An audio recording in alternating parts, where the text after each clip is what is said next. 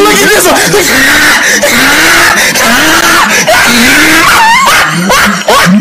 He look like Bobby from Lizard Lick.